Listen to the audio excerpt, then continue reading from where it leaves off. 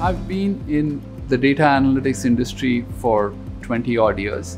Uh, I like to say that I was in analytics before it became cool. In all of those 20 years, I have never seen a moment for analytics that has been this exciting. The demand environment for analytics today is, is bigger than ever.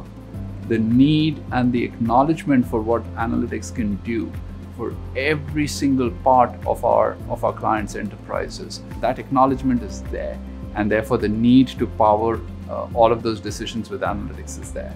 The way a company can actually create insights and use those insights in terms of interactions with their customers will actually differentiate in terms of the valuation and the business value that a company creates vis-a-vis its peers.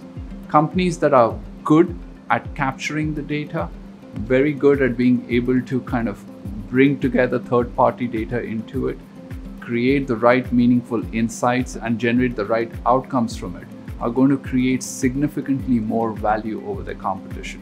It's very important in my view uh, to be able to start creating a program that actually starts delivering you small wins and build upon those small wins as you start getting into bigger bets rather than trying to go for an approach which says, I'm going to transform everything, but you have to wait 24 months for that to happen.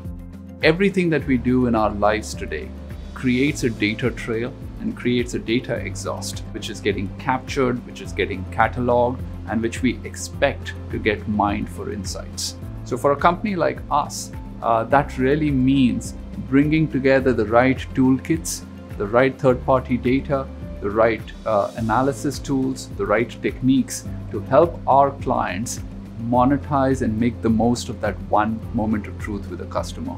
We don't come in with a one size fits all prescription. We actually come in with the right team, with the right toolkit, and with the right focus to be able to help our clients create that journey and move along.